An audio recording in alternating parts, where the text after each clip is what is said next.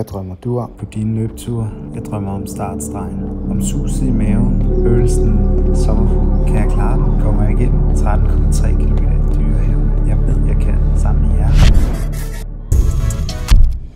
Træn godt. Lev stærkt.